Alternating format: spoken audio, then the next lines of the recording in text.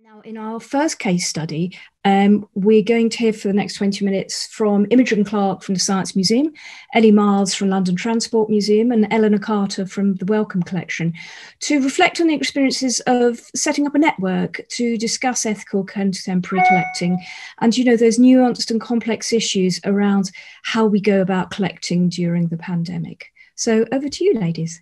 Well, good afternoon, everyone. Um, Eleanor's just going to put the slides up. But thank you all for joining us at this session. I know we're coming to the end of um, the conference and we really appreciate you being here and hopefully we can um, have some nice discussion after this. I'm Ellie Miles and today, as Elizabeth mentioned, I'll be presenting with Imogen Clarke from the Science Museum and Eleanor Carter from Wellcome. And together we'll, presenting, we'll be presenting a slightly different kind of case study to those that I've ever shared before. So instead of discussing a collecting project or talking through new acquisitions or presenting a project methodology, today we'll be centering our case study on networks and collaboration, taking the evolution and creation of new networks as, as our case study, I suppose. I'll start by introducing a pre-existing network.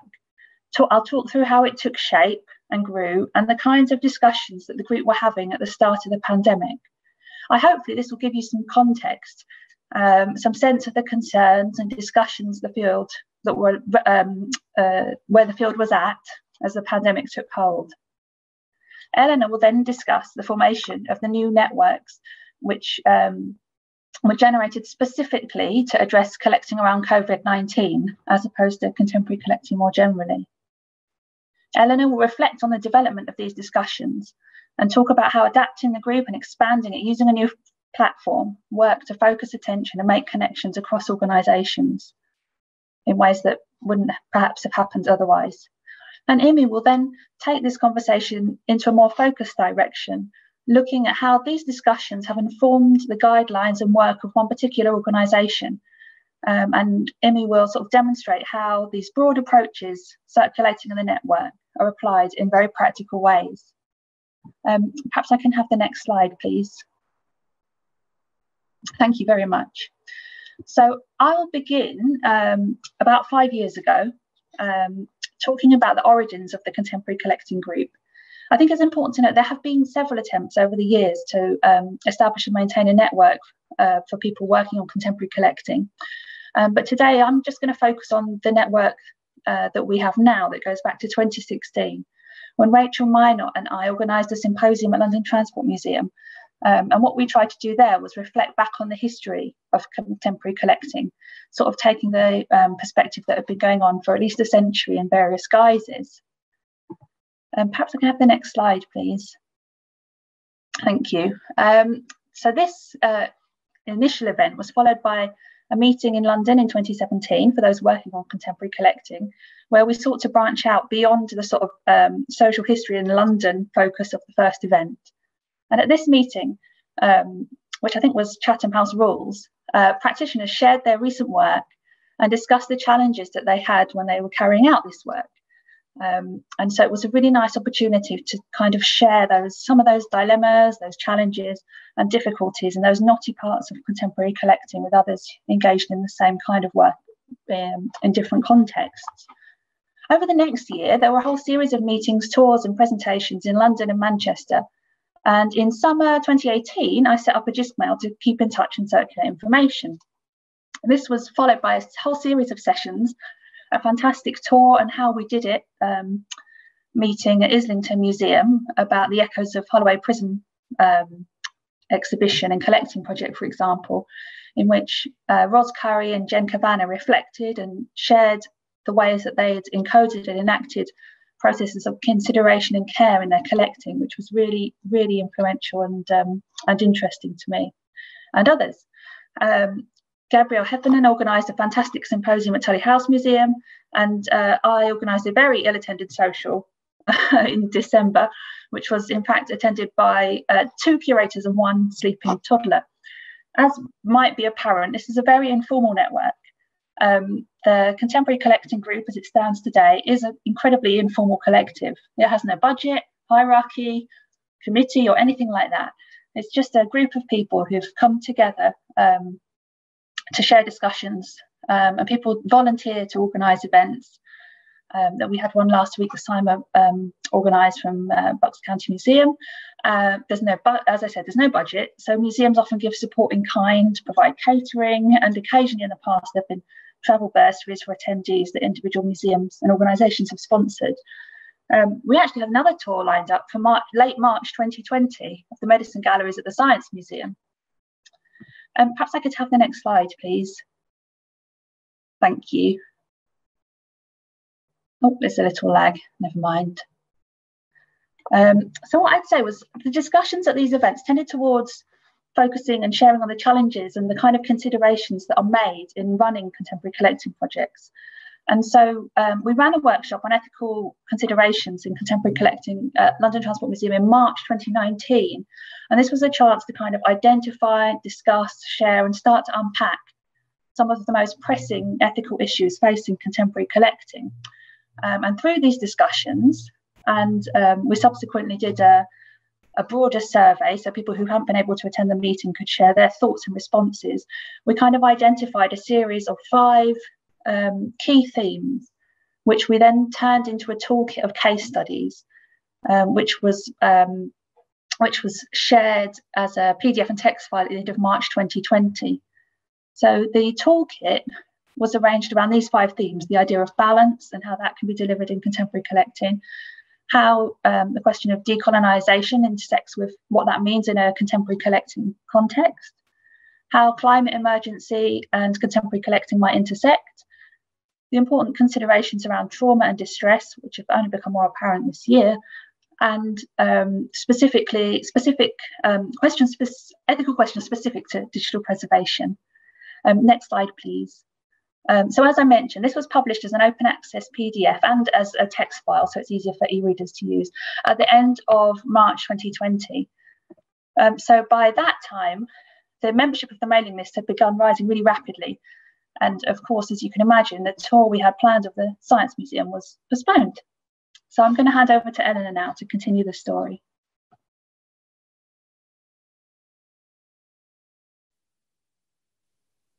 Thanks for that. Um, yeah, so I'm going to talk about sort of the next chapter um, in sort of where the contemporary collecting network um, went on from there. Um, and really, as the pandemic started to take hold and we were all starting to adjust to working from home and thinking about collecting, it became really apparent that we needed a new space to be able to do that, a way in which to be able to um, connect with other museums and libraries, archives, and galleries, and to share our experiences of collecting as well as our fears and worries about doing that.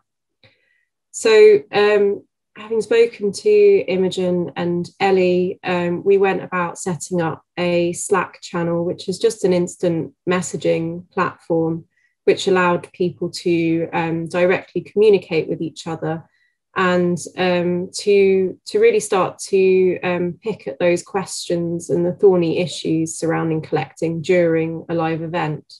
We also held group video calls with um, seven online video calls held um, over the course of 2020, where we had between 10 and 50 participants. Um, and we also shared resources and information within the Slack channel and on the contemporary collecting listserv. I think when we think back to those early days of the pandemic in, in March of last year, um, stuff was happening so fast that within the contemporary collecting world, it felt like things could easily just disappear if we didn't act quickly enough and if we didn't do something. And it also felt like there were loads of collecting projects springing up um, from diary writing projects to large scale and ambitious calls for material via social media. And certainly from my perspective, it felt like everyone was doing something, and I felt like I wasn't doing anything at all. Um, and I think it's important to remember that um, and to remember that this was a moment where we were all, as individuals outside of our work personas, trying to grapple with and make sense of world changing events.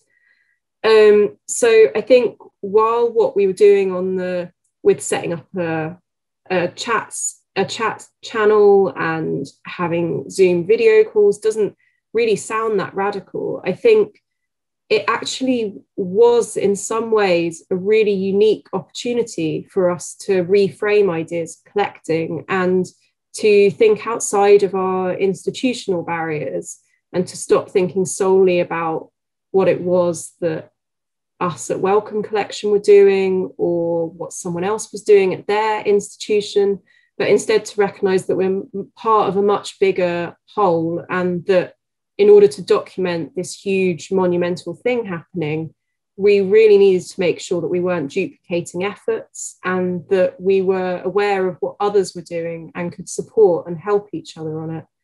And I think that's been a real strong point of the work that we've been doing, um, has really been around trying to bring people together to sort of recognize that it's okay to sort of have all these concerns and questions around collecting, particularly during a live and traumatic event, and um, that we can sort of hold this friendly space for those discussions to happen. Um, and I think for me, um, one of the things that was particularly important when we were thinking about why we needed to collaborate was thinking about um, the types of histories that we can end up with if we're not working together well. And I think one of the examples of that is perhaps thinking about um, the idea of lockdown diaries and call outs for, for diary entries, and how, while this can seem like a great way to engage people, it also can run the risk of being exclusionary by its very nature as a collecting practice. Um, for many frontline workers, they were still going to, to work over lockdown. They may have been low paid and were often from ethnically minoritized backgrounds with poor protections against the virus. And their experience of um, lockdown certainly wouldn't have been the same as the majority of lockdown diaries that might have been captured that focused on the sort of baking sourdough and going out for your daily ma- mandated walk. So I think this is something that's stuck with me over the course of um, our collecting, thinking about whose stories we're collecting, where the gaps are, and how we need to work together to make sure that this experience that we are all going through, but in vastly different and unique ways, is, is captured and is documented for future use. Um, so in the early period, we also took on um, a contemporary collecting survey where we um, asked individuals working within organizations to um, to respond and to give us information to provide information about what they were collecting um, what their remit was and how the collecting was going if they had started. And this raised lots of um, lots of people's worries and anxieties around collecting, um, which really helped to frame our later discussions. Um, and I'm just going to uh, end on this slide before I pass over to um, Imogen. But this is really just to sort of pull out some of the ethical questions that were coming out of our discussions. And concerns really ranged from things like practical questions around how to physically and safely collect and handle items, to looking at the impact of trauma and how we can protect record creators, and making sure that we're actually properly documenting collections as they come in so that we can ensure their use long into the future. We also talked about things like whistleblowing, the need to protect people's anonymity at protests, and the likelihood of a future COVID inquiry changing the way that records were used in the future. And of course, while we were grappling with all of these complex issues, the killing of George Floyd and the Black Lives Matter movement brought a new urgency to thinking about the power dynamics of collecting and whose stories are hold, held. Sorry.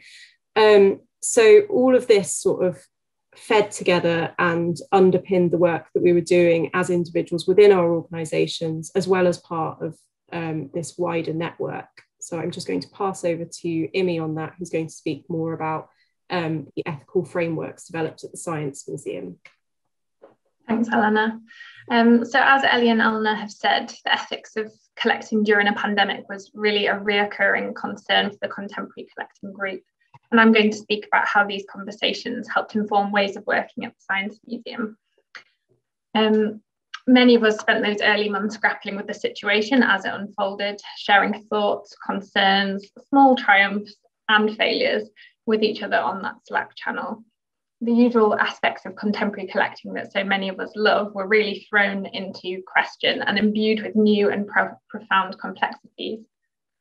In the medical curatorial team at the Science Museum, we were relatively familiar with the inherently personal and often sensitive nature of medical collecting, with objects often closely connected to challenging experiences. But I don't think anything could have quite prepared us for what was to come. The sheer complexity of the situation and the ethical conversations being had across the sector led the Science Museum Group to form an advisory panel very early on in the project. And this is a fairly unusual um, thing to do for a collecting project, or at least it is at the Science Museum. One of the main responsibilities of this panel was to give a steer to the ethical guidelines that needed to be central to our approach. Like many museums, um, we already had an ethics poli policy and collecting policy, but this unique situation really called for something more. So through wide consultation with organisations, which included the Wellcome Collection, and building on existing guidelines and toolkits around contemporary collecting, the team created our guidelines. So, whilst conversations were being had at high level and in this advisory panel, we also kept track of conversations around ethical collecting in the Slack channel and referred to useful resources being shared by the group. Next slide, please, Eleanor. So, to quickly note a few existing guidelines and toolkits which were helpful in considering our approach. The first is the Oral History Societies, um, who published guidelines about collecting oral histories relating to COVID 19. So, their guidelines warned that when interviewing healthcare or front, frontline workers, there is a danger that single session interviews that require staff to talk about their thoughts or feelings may increase the likelihood of PTSD, post traumatic stress disorder. This resource, along with noting that other organisations were already conducting oral histories, something that we could see through Slack channel conversations, helped inform our decision not to conduct oral histories specific to COVID. The wider emotional cost of attempting to collect material associated with COVID 19 really led the museum community to debate and, in some cases, criticise the rapid response collecting approach. And this is an area heavily discussed by the Contemporary Collecting Network and Slack channel, and um, led to this idea, which is the title of our talk, of kind of slowing down. The second thing to note is the Museum Association's Code of Ethics, something that um, many of us will be familiar with as a framework to support museums to resolve ethical issues. And the MA also published their own statement about ethical collecting during the pandemic. And finally, um, the Contemporary Collecting Toolkit by London Transport Museum, which Ellie um, kind of outlined earlier, and in particular, the theme on trauma and distress, particularly informative. Next slide, please, Alna. So I'll share a, a, link to these in the chat afterwards, but I wanted to quickly talk through the main points in the Science Museum's ethical guidelines for collecting COVID. The first is uh, the Science Museum Group will make no communication or ask for any action that will take medical practitioners, NH NHS workers, or those involved in, a res in response efforts away from their important duties. Um, knowing when to approach people was a constant discussion in the first few months on the kind of network channels and judging when or if we should contact people with a view to collecting has really proven to be one of the most delicate tasks to manage. So throughout the near year and a half that we've now been collecting, the team have really had to fluctuate in our approach, tentatively assessing the situation and attempting to track its severity, which given the unpredictability of everything that's happened in the past um, it has been incredibly challenging. So the next is we will take no action that might involve an increase in human contact at times of recommended isolation or lockdown. We will be respectful and sensitive to the fact that lives and livelihoods are at risk. We will ensure that our collecting is considered and properly documented to ensure maximum usefulness for future research and display. And this is something the team are now grappling with. It's bringing in and processing the material collected or proposed to the collection over the past 15 months, which is a huge feat. And this also comes with continued ethical complexities of assessing personal circumstances and comfort levels as we emerge from lockdown. Next, we have, um, we will ensure our collecting is not duplicating the work of others, and this is something Eleanor raised. This is where the Slack channel was incredibly useful. Knowing which organisations were attempting to collect what gave, um, were attempting to collect what gave us a real sense of the collective effort, and certainly for me, a reassurance that we didn't have to attempt to collect everything. I'm sure there'll be plenty of masks and hand, sanitize, uh, hand sanitizers to be found in collections going forward, but for those broader themes of oral histories or diaries and note, notebooks, this really provided us with clarity on what not to, as well as what to pursue. Imogen, one more minute. Thank you. We will ensure that our own staff uh, are supported in collecting and displaying the material. So this is the final point, and perhaps one of the most important, but has been equally challenging to assess. So these ethical guidelines have been incredibly useful and have formed a backbone to the Science Museum Group's collecting project, shaping the way we interact uh, with potential donors and each other. And now, after nearly a year and a half, the challenges of collecting during the pandemic continue to be significant and somewhat unpredictable. So final slide, please. So going back to the network more broadly, this slide shows um, some information about how to join the conversation and access re recordings of previous network meetings. And we can share these links in the chat afterwards.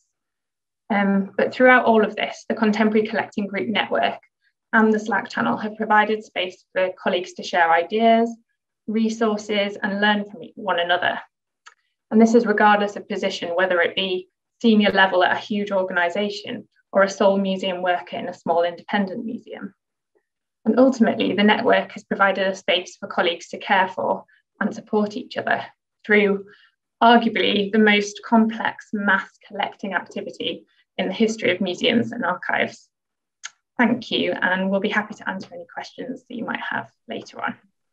Um, uh, thank you so much, Imogen. Uh, a fascinating presentation and incredibly timely. And I think what's interesting, what you've created there is obviously it was created at a very specific point in time, but it's actually got immense relevance for across everything that we we collect. Can I check first of all that am I right in thinking that the um, the toolkit is available on the Collections Trust website if anybody would like to pick it up?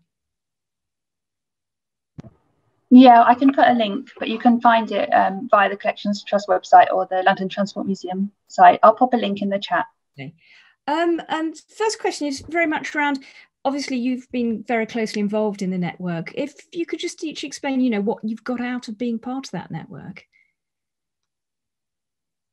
Um, Ellie, would you like to enlighten us first? oh, sorry, I was um, I was just googling. I never have the link handy. um, uh, so for me, I think it's uh, it's been really practically useful. It's been um, it's really good to get a sense of um, how we can collect distinctively at the Transport Museum um, as we all go through and take action in this moment. Um, it's been yes, it's been very practical. It's made me aware of issues um, and approaches that I might not have known about to consider, and it's given me insight, um, me insight and my colleagues insight into uh, people who are much further along in working through those issues um, and have different structures in place already for uh, enacting those processes of care and consideration. So there's been a lot of practical um, organisational support there, as well as setting a framework for how we can contribute individually. Um, and also personally, it's given me something really positive to focus on.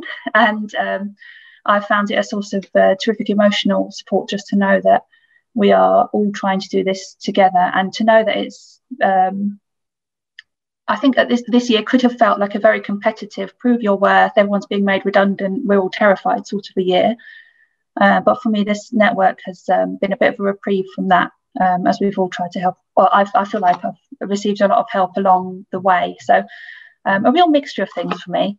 Yeah thank you. And Eleanor you're nodding very firmly there. Similar experience for you sounds like. Yeah i think it's um it's really been that having that supportive environment which um you know can sound a bit fake but actually i think has been really important when everyone's working from home and can feel quite isolated um, in the work that they're doing and um, sort of i suppose in some ways dropping your professional veneer a bit and yeah.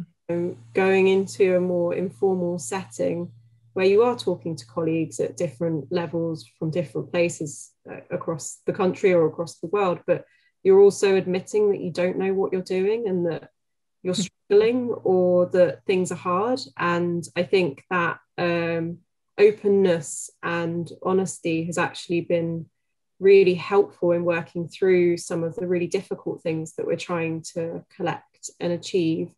And also sort of releases that burden of responsibility i think. You yeah. sort of saw with the the the flurry of um, sort of activity that was going on on the slack channel in those in that early period that people were sort of very desperately like seeking those answers and wanting to engage and I think um, just having that space to do that provided a lot. Certainly, it did for me. Imogen, we've got an interesting question here, vital question about, you know, as was discussed about um, sort of stepping outside your institution and, and, working with other institutions. And a key question, have you any tips for getting institutional support for this inter-institutional activity? Well, that's a really good question. Big one, isn't it? I think um, it's tricky to say because from the Science Museum point of view, very early, as I mentioned, we created this advisory panel. I think through doing that, we kind of showed the importance and the kind of gravitas of what we were trying to do. And that really brought in a lot of support internally. And I think something we did, because the Science Museum is part of the Science Museum Group, um, which is a, a group of five museums, we it's actually led to loads of cross-site working in a really positive way. And I think immediately, because it was a shared project across these sites, because there was buy-in across so many sites as well, it just became a really huge project. And for that reason, it meant that we did have a lot of kind of support from higher up, really. Mm. I mean, Eleanor or Ellie, have you got any thoughts on that? You know, I, I mean, it leads on to a question I had that was sort of around does collecting in something which is so immediate and so universal in its experience actually increase your profile both with your stakeholders and with audiences or, or indeed depositors you would like to connect with? You know does it ease up conversations? And in that you know how can you um, sort of lever that to get that institutional support? I could answer sort of going back to the first part of that um, just to say that with the sort of institutional boundaries and working together, I think there was something about the speed at which everything was happening that we needed to respond in quite an agile way and that everything sort of developed quite organically. Mm. coming from uh, a large institution which is naturally bureaucratic because of its size, um, so if this had been set up as a formal partnership, I can imagine it being a much more uh, lengthy process. But this was all sort of coming out of people just speaking to each other and needing to do something. And there was a need for that sort of speed and to, to act in quite a quick way to sort of set up a platform for working together. Um, but I don't know if that answers on the institutional support, although I know Ellie did more thinking around sort of the, the kind of funding, like looking for funding for the group and stuff like that. Ellie, would you would you have a, a brief answer to that before we move on to Henry? Um, yeah, I guess the the thing to reiterate uh, the thing to reiterate is that actually it um, it avoided a lot of duplication. Um, it meant that we could quickly make connections between individuals who might be working on similar areas. Um, make sure that you know, uh, and, and, it was also it's, it's so informal at this stage that it's incredibly light touch. Um, so there's not a great deal um, to do. And the I think um, yeah, I think for us, it's, it's quite easy to make the point that you know what what we can do is really distinctive now because we're informed about what else is going on, and I think our senior leaders really responded to, to that. And can I just ask, just very quickly before we move on to Henry, um, is the net the network is still in existence and people can still join it? Um, just got just got one question about the legacy of the network, but it's still there. It's going to keep working, and not so much a legacy as ongoing work by the sound of things. Yeah. Yes. Our aspiration is to, to continue to support the, the sector in this work in future and, and use this moment to Fantastic. to make sure lessons aren't forgotten. Well, I think your membership might might go up after this afternoon. So thank you very much, all three of you, for a fascinating conversation. And I shall now move on to our second case study, which is Henry Roberts from the National Library of Scotland. And he's going to tell you tell us about um, the National Library's Climate Action Plan, which was the library's initiative to become a more sustainable organisation and use its collections to actually inform the Scottish public on climate crisis. And to help coordinate the action plan and influence its content, the library hired Henry, who's actually a young climate activist. So, following the tradition of DCDC, it's not just curators and archivists talking to each other. We bring in other other professionals as well. And he's going to speak about the rationale behind the library's climate action plan before moving on to its content. So, um, I'm going to hand over to you now, Henry. There we are. Uh, so, so, thank you very much for inviting me um, here. Uh, so I'm going to be talking about uh, the National Library of Scotland's Climate Action Plan, which touches on every area of the library from uh, collections to conservation uh, to the day to day running of the estates. Um, the Climate Action Plan will take us to 2025, but it has an overall vision of the library becoming a net zero circular organisation uh, by 2045. So there is that long term vision uh, there. Uh, briefly about me, I was brought into the library uh, in October of last year to help shape and coordinate this piece of work. And as I'll touch on at the end, um, coming into a centuries old organization as a young climate activist was at times frustrating, um, but I hope I managed to inject some urgency into the process. So I'm going to speak about the rationale behind us pursuing this work before going over the steps we took to write the document. I'll then very quickly draw out some of the highlights from the action plan and the next steps we intend to take before discussing some of the things that could have gone better. And then finally ending by taking a step back and considering what roles libraries should, be, should play uh, in a world in crisis. But first, the reasoning behind the plan. Um, I don't think I need to spend too much time going over the obvious rationale. We all know the destruction being wrought on our world. You've seen the same images of burning landscapes, flooded cities, and swirling hurricanes that I have. But you will have also seen the mass civil society demonstrations school students to retirees taking to the streets across the globe, demanding their governments take immediate and significant action to halt emissions and prevent the worst effects of the climate crisis.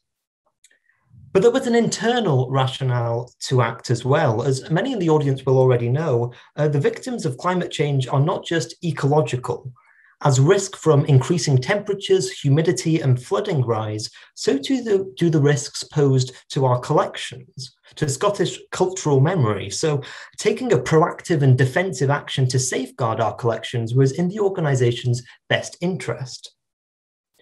And climate action also fed into the national agenda.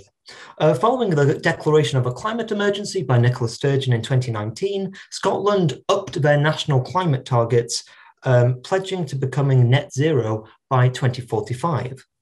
To help achieve this target, public bodies in Scotland, like the National Library, are expected to play their part, publicly declaring the year they intend to reach net zero, uh, as well as doing their best to becoming sustainable and circular themselves.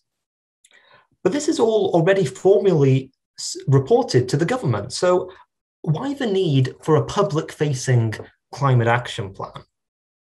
The answer is to make the policies understandable and to put them in context, both for our staff as well as for our audiences. The structure of the plan mirrors the Scottish climate change duties for public bodies, so the document is therefore divided with sections on mitigation, adaptation, sustainable development, and wider influence. But we were also influenced by other external uh, publications we made sure uh, to reference the Scottish National Performance Targets as well as the UN Sustainable Development Goals. Additionally, we felt compelled to reference relevant climate legislation, both national and international, such as the Climate Change Act for Scotland and the Paris Agreement for the global community. Again, not only did this help shape our own thinking, but by presenting the actions in this way, we contextualize the work for our readers, be they members of the public or members of staff who weren't directly involved in the writing of these policies. So first, the process. What were the steps we took to get here? Really quickly, the process went a bit like this. First, the research period.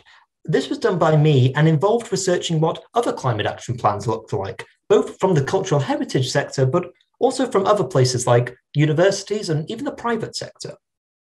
Next, a task group within the library was established. This was made up of several people from across the library and was led by someone from the library's senior management team. As I'll go on to explain later, it's vital that these groups contain a representative cross section from all levels of the organization.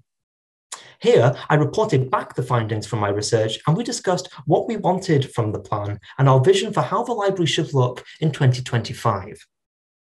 The third stage, Consultation, consultation, consultation. As those of you uh, who have tried to work in groups before, the inevitable next step is to break off into yet smaller subgroups. Uh, so that's exactly what we did. We split into four smaller groups, um, each one for each of the sections of the climate action plan. Each subgroup had three rounds of sessions, during which we envisioned where we wanted the library to be in 2045 and then worked backwards to 2025, and then finally thinking through the steps and resources that would be needed to get us there. I chaired all 12 sessions, and the debates we held there were illuminating and at times frustrating, uh, particularly since they were all done remotely over Teams. And the final stage more consultation. Um, once I had gone away and written a draft of the climate action plan that we in the task group had agreed upon, it was time to share this with the wider library staff over our internal communication system, along with a feedback form for employees to feed in their questions, comments, and concerns. After this consultation period, the draft went on to the senior leadership team, who then gave their own comments before a draft was formally resubmitted back to the library team for approval. After all those steps, which took place over roughly a six month period, um, we ended up with a climate action plan which will hopefully be released around September in the lead up to COP26. We ended up with over 80 actions to be implemented over the next four years. So I obviously won't bore you by going over them here, but some brief highlights from the plan are a net zero pledge for 2045, a 72.5% greenhouse gas emissions reduction target by 2025, obtaining data to better understand our indirect emissions via third parties, improving our sub-metering capabilities to develop real-time monitoring of our estate, electrifying the remainder of the library fleet, updating our procurement policy to ensure that the sustainability tool is used effectively, improving the remote monitoring and management of the library estate, and reducing the amount of waste we send to landfill to just 5%. However, these all came from the first three sections. I want to take a few minutes here to speak about the final section on wider influence, for it's here we find the actions that overlap most strongly with the themes of this conference. This is what the public sees, and it's this section that deals with our collections, with events, workshops, and exhibitions. As the climate crisis gets worse over the coming years, we can play an invaluable role in improving climate literacy and in building resilience in communities, both practically and emotionally. Again, there are many ways we can do this, but I think three and broad and overlapping categories of public engagement stand out. The first, collaboration, collaborating with other organizations, both within the cultural heritage sector, but also civil society groups to maximize our work. The second, curation, picking the most appropriate titles when choosing materials to intake, and curating and displaying them in the most helpful way to the general public. As I'll speak about later on, this means not only focusing on the science of climate change, but also its social, economic, and moral aspects also. And the third, collection, choosing what to collect. This will be aided by the collaboration aspect I just mentioned, proactively outreaching to civil society groups, for instance, to collect materials from them to help document and archive people's response to the climate crisis. We're currently planning on the various ways we can collect materials from COP26 happening this November in Glasgow. The work included in the wider influence section has the most potential to reach audiences and inspire change at the local level here is a chance to educate the public, but more importantly, to give individuals the tools to conduct their own research, both formal and informal, into the climate crisis. Going forward, then, there are two key areas of work which I think need to be prioritised in the library's public facing climate work a diversity of audiences and a diversity of topics. The first speaks to what I've just said about collaborating and proactively reaching out to new audiences. We could have the greatest climate collections in the world, but it would be no good if they were restricted to the same audiences we always rely on. There are people far more qualified than me to speak on this, but it's worth making the point that active efforts should be made by the library and by all organisations to proactively engage with those on the front lines of the climate crisis. These most affected people are often ethnic minorities and those living in the least affluent areas of society. Libraries, particularly centuries old institutions, can seem like intimidating spaces and engaging with libraries may not be the most obvious thing people jump to in a time of crisis when there isn't already a pre existing relationship there. So, time and money should be spent on reaching out to new audiences. On this point, in order to build resilient communities, everyone has to feel welcome in the library. So, ensuring that the buildings are accessible to disabled and neurodiverse audiences is essential. Climate work and outreach and inclusion work should not be seen as separate.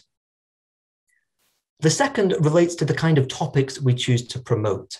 As a legal deposit library, it's not for us to turn down materials we don't agree with. Our archive is full of materials we don't agree with.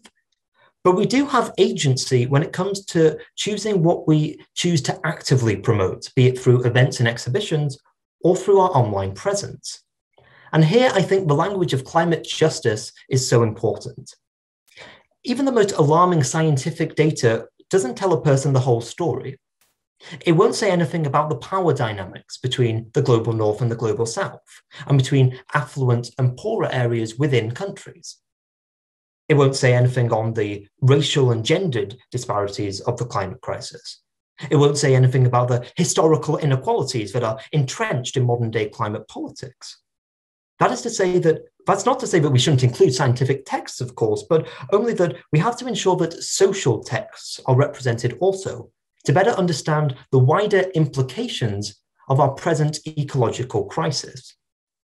We wouldn't be reflecting the severity and the complexity of climate change justly if we focus all of our attention on just the science of climate change. We have to look at its social implications also, how climate how the climate crisis intersects with race, gender, and class. And related to both of these points, we have to ensure that the materials, events, and services we offer cater to, to a diversity of knowledge levels. It's no good if we provide an extensive library of just academic texts.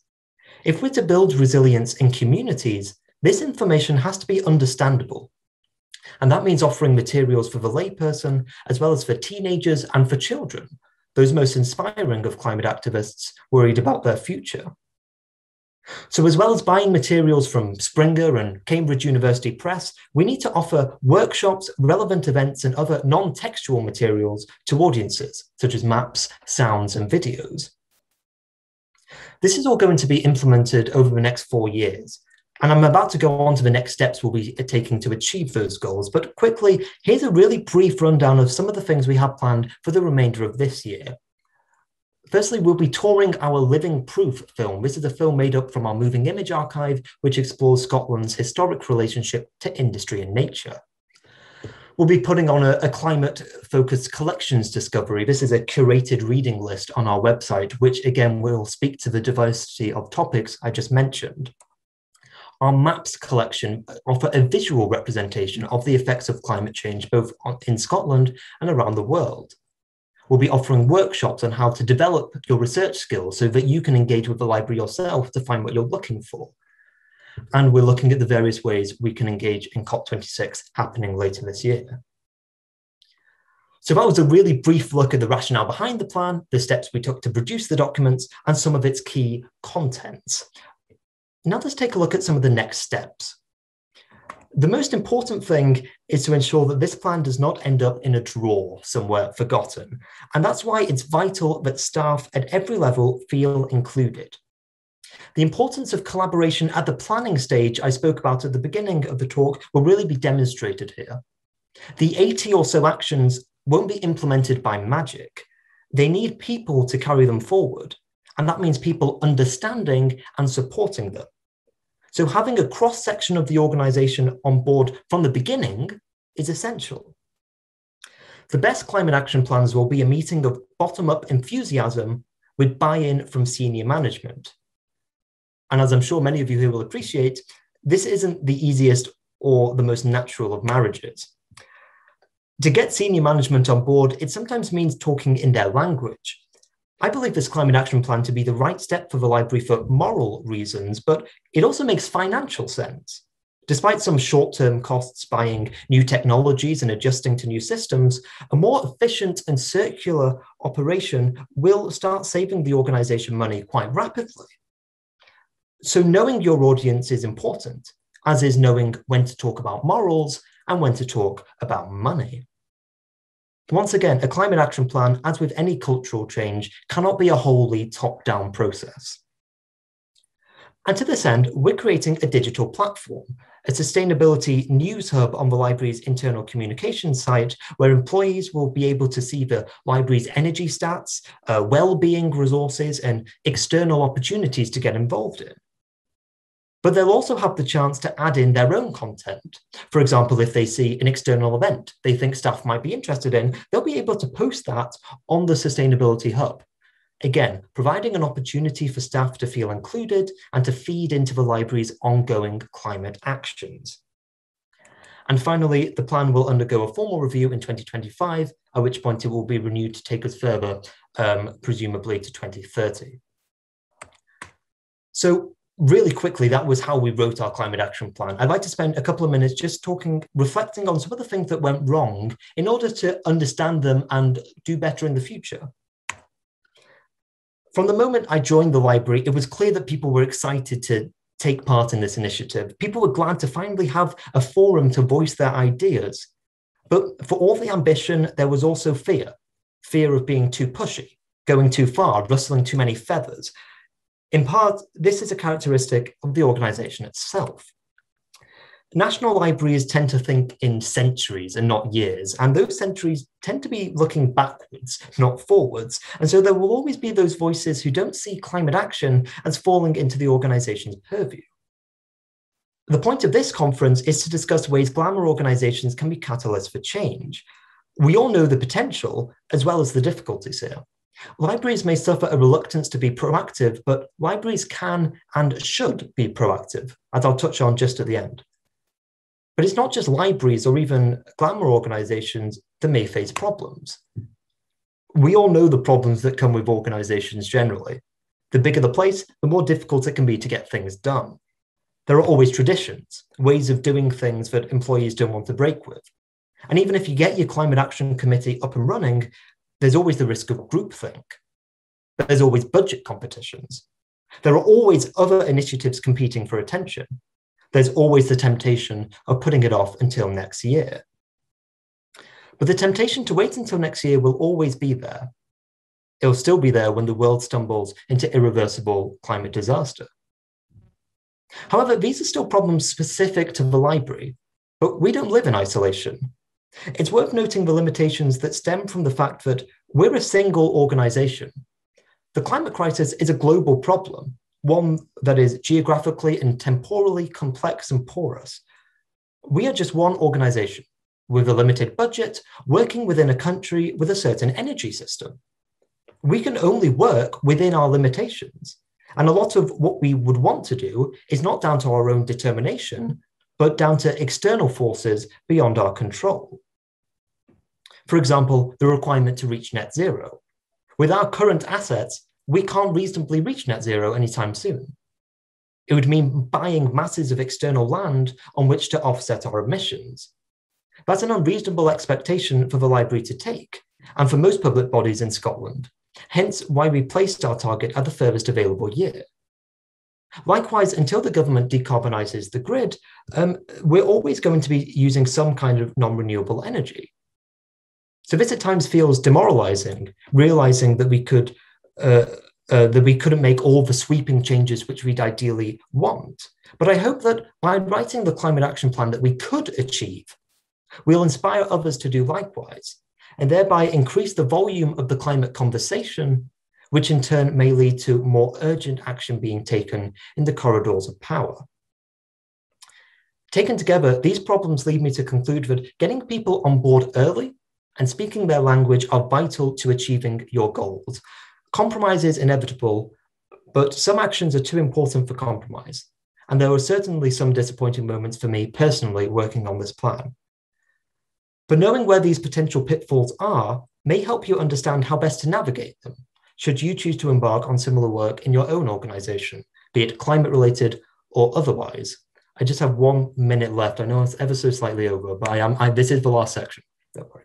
Before I finish, I want to take a step back and talk about libraries and the climate crisis more broadly. I've been talking about a case study, but case studies shouldn't exist in a vacuum. Libraries, archives, museums, we play an interesting role in the power knowledge relationship. We're sites of knowledge.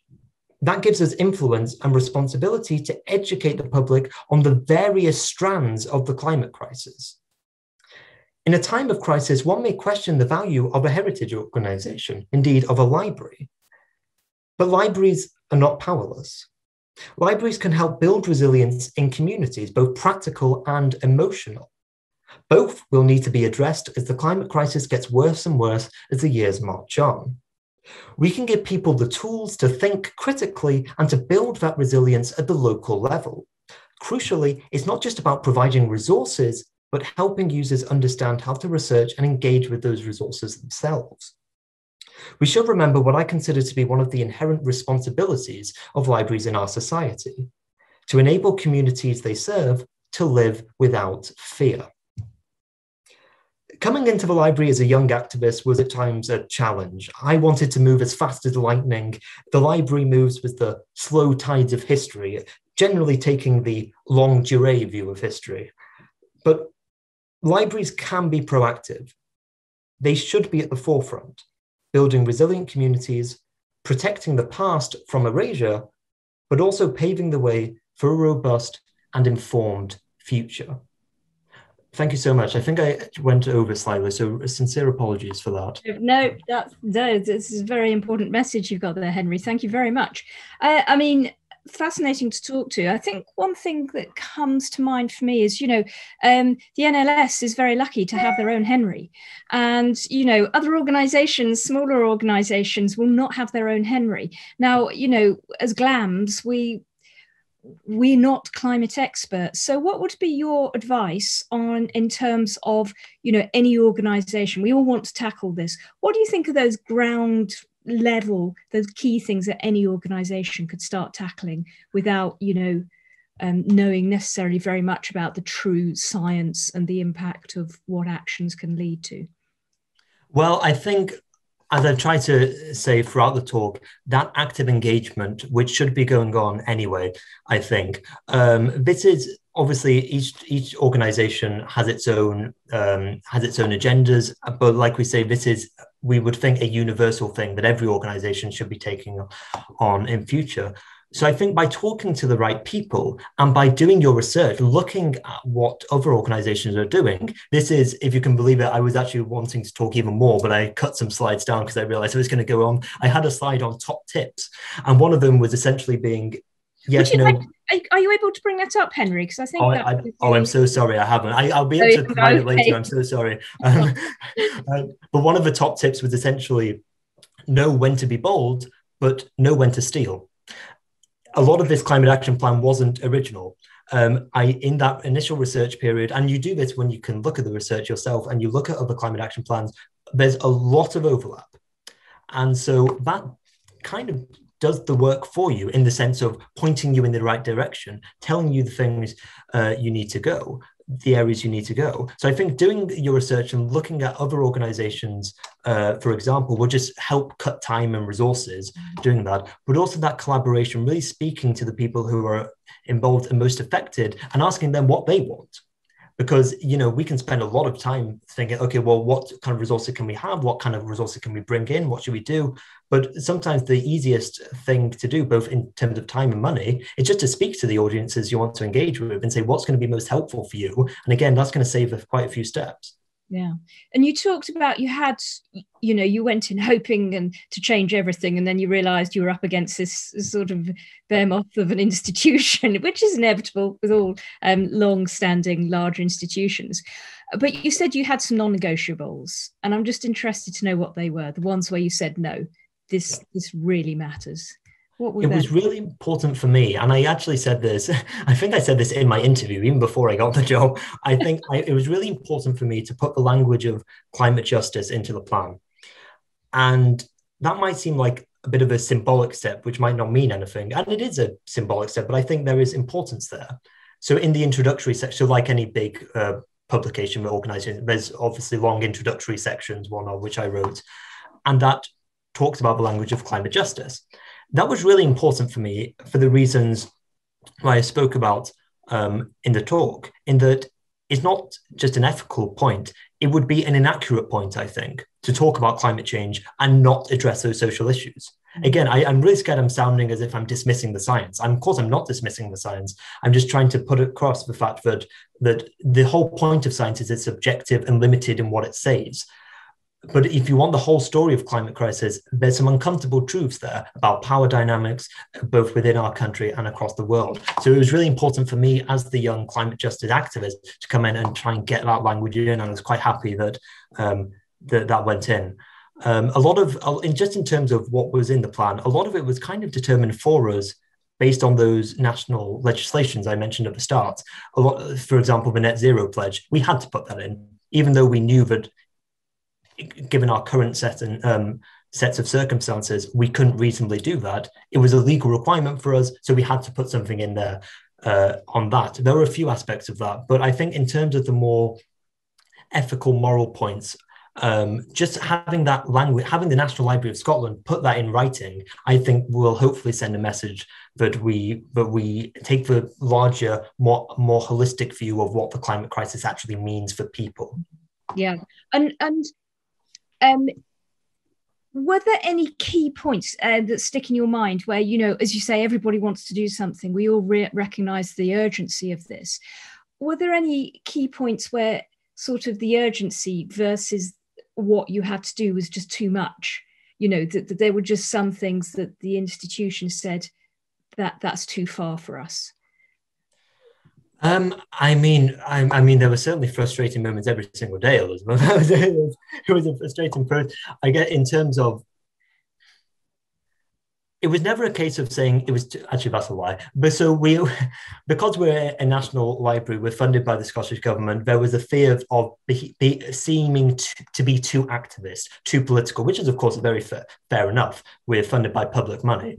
Of course, my argument is that this isn't political. This is a a, a moral case. But I understand there was some objections there. Um, but there were also, and again, as I hopefully touched on in the talk, the library has about 250 employees. No one really disagrees that climate change isn't important, but so is uh, uh, the equalities and diversity agenda, which was going on. So are the uh, uh, um, the the exhibitions that people have been working for literally years on. They they've been going on. There were a lot of things drawing people's attention. So uh, quite a lot of time, people were saying that sounds really good. We just don't. Where's the time? Where's the money? And I guess it was just a point that was, and this obviously came up throughout the six months, and fair enough.